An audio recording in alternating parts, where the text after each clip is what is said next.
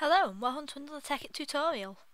Today I'm going to be looking at geothermal power, which, as you may have noticed in Tekkit, you have these lovely little volcanoes that spawn everywhere, usually a bit taller than this, but yeah, they still do the job. This little spout of um, lava sticking out the top. Well, this lava isn't just useless, and you may as well not block it off, because you can use it for power. So, let me show you my setup. Let's just get back up to my little house that's on top of the hill. And there we have it. There in the middle we have our geothermal generator hooked up to the rest of our wires. Have two glass storage containers either side that holds all the lava. And then we have that's like tubes and that going in going in where the lava will go in and then at the bottom just where we're going to pump out and go into the generator to create power. In this generator you can actually just put a bucket of lava in there as well and that'll work. But it's more efficient to just keep like a pump of lava flowing from a generator and a pump. So now I'll show you how to make one of these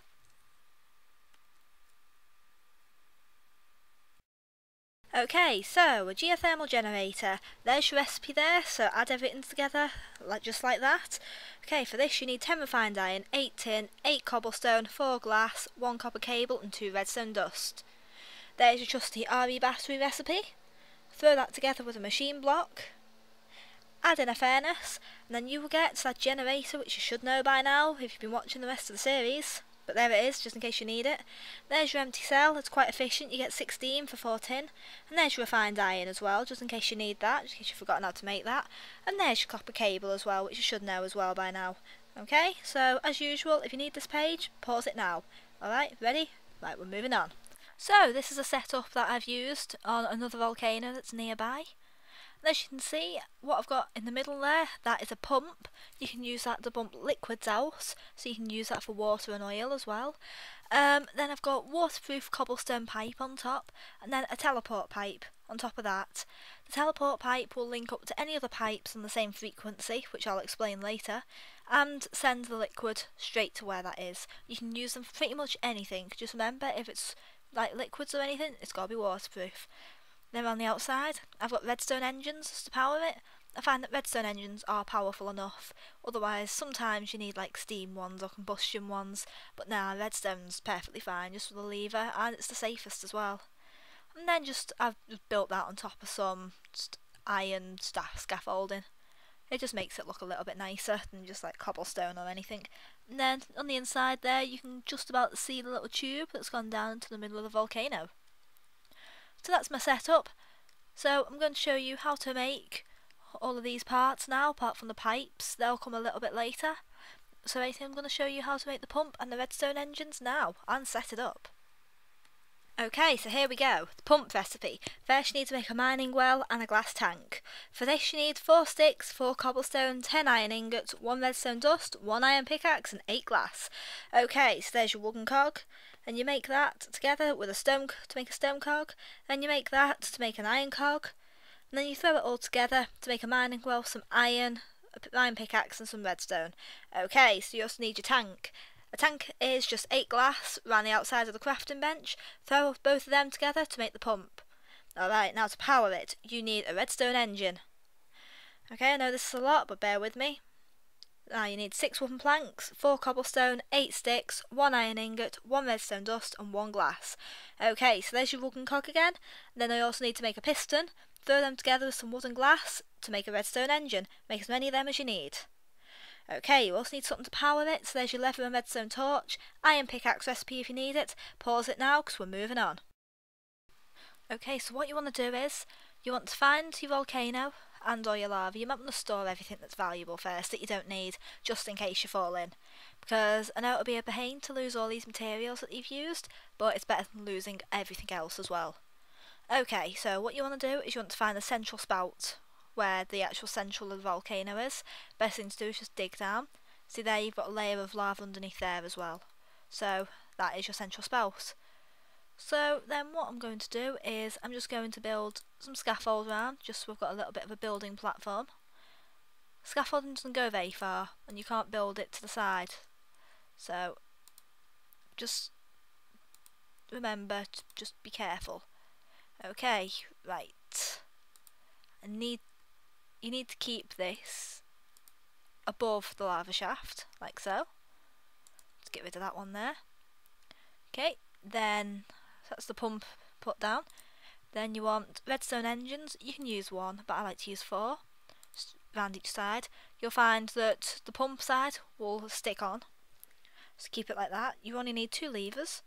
One at one side, one at the other. That'll turn them all on. Then you want to place your waterproof pipe on top.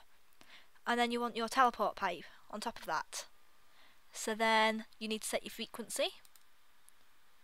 So I'm on 4. Then I'm connected. Just make sure that's set right. Okay, and that's your setup. That's as easy, easy as pie to set up. Just turn the pumps on. And then just wait for it to work.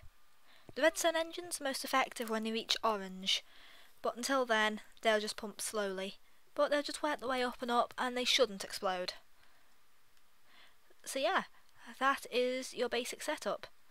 I'll explain to you about the pipes now. Just get back up there. You may see the lava starting to come into the tanks whilst I do this as well. Okay, so my setup up here. What we have, see you can see the lava coming through. Um, what we have here is we have the teleport pipes, which are set to receive everything that I have pumped, that I'm pumping in from all over on the same frequency. And then I've got two glass tanks here, which is where the lava will be stored. And underneath here I have a wooden waterproof pipe, which is used to pump things out of a container, connected to just a waterproof cobblestone pipe, which just goes into the bottom of the generator there. So if I were to turn on these switches, where I've got redstone pumps against the um against the red against the wooden pipes, just turn that on, and it'll pump in, and it lights up because it's filling up and it's charging.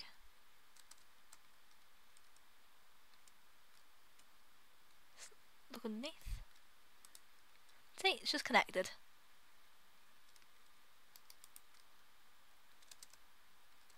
Yes, that should be providing power. See, there you go, it's charging up. Once that's fully charged, then you'll be getting power from it. So now I'll explain how to make all these pipes. So keep watching. Ah, making pipes is expensive. First you need to start off your cactus, cook your cactus to get some green dye. Okay, then you put it in your crafting bench to get waterproofing.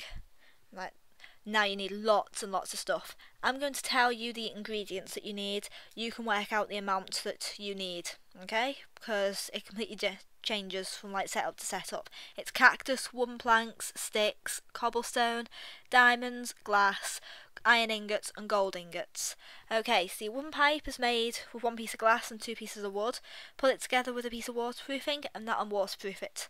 Cobblestone pipes are made exactly the same, just a piece of cobblestone instead. Apart from you get more cobblestone pipes, you need more waterproofing. For teleport pipes, you need all the cogs all the way up. You need two diamond cogs. So there's your recipes for all the cogs. Now, your normal teleport pipe is like that, with a piece of glass. You get eight, so it's not too bad, I guess. And then you also waterproof it just the normal way, with a piece of waterproofing in the top. Okay, you can just pipe it back normally they're very expensive, but it just saves having a lot of nasty pipes all across the landscape. If you need this, pause it now. Okay, so now I'll explain how to actually use these teleport pipes. What you need to do is you need two set up. You need one that you're pumping from and one that's that you're receiving in. Okay, so say this one here is the one that I'm pumping in. Okay? What you need to do is you need to right click it, not with another pipe. You need to right click it and then you get this option here. It says frequency 0, connector pipes 0. Your frequency is changed using these numbers all the way along here. You just set that to any unique number you want. So I'm going to set it to 31 I think. Okay, and then can receive is set to false. You click switch to change this. From the one that you're pumping from, which in your case will be from the volcano, it needs to be false because you are pumping things out of the volcano. You don't want it receiving things. Okay, so then you just click escape to come off that, then go to your other pipe, and see, as you can see, this one's currently set to frequency 4, and there's three connected pipes. what you do is I need to change this to the same frequency, which was 31. So up to 34, 33, 32, 31. There we go, connect to pipes 1. And then because you want things that are being pumped out of the volcano to go into this tank, you need to change the CAN received to true. Okay, that's just how it works. So once that's set, then anything that's pumped from this one, which is the volcano, will go into this transport pipe and it just doesn't leave a mess of like pipes going all across the landscape. And to be honest, would you really want to ruin this landscape? I picked this place for a reason. It's really pretty. I don't want pipes going all over it. I'm already ruining it by draining like all the no, all the volcanoes. There's a nice oil spill down there. And I've got all these unsightly like wind farms and everything all on the roof. But yeah, that is how you use transport pipes and that is just how you set up a geothermal generator. So give it a try yourself and hopefully this has helped you solve some of your power needs and maybe explained why there's volcanoes in the world. Okay, so tune in next time for another Tekkit tutorial. Bye bye.